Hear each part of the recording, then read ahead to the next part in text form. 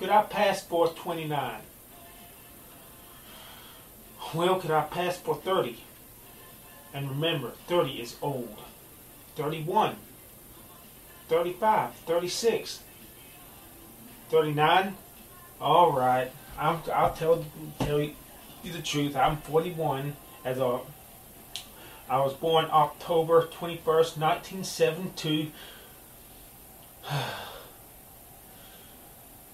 But people,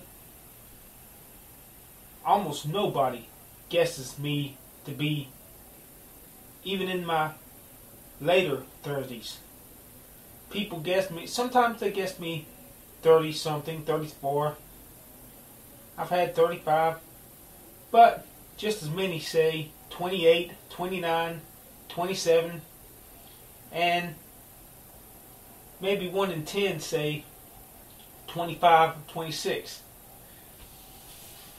That made me so happy because my younger years were wasted. I did not get to live the life of a young single guy.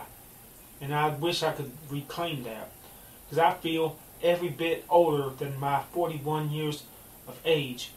My, my ever since my stroke on Thanksgiving Day, my, my I have my my my libido sucks.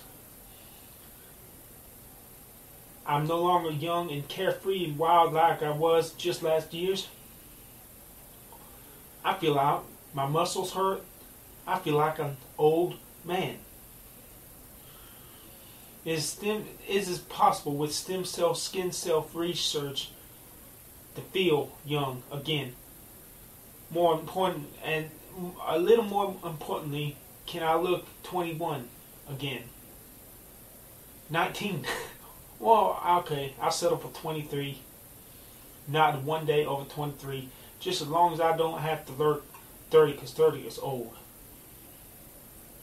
And one thing that, two things that, that scare me about my old age, the gray hairs on my temple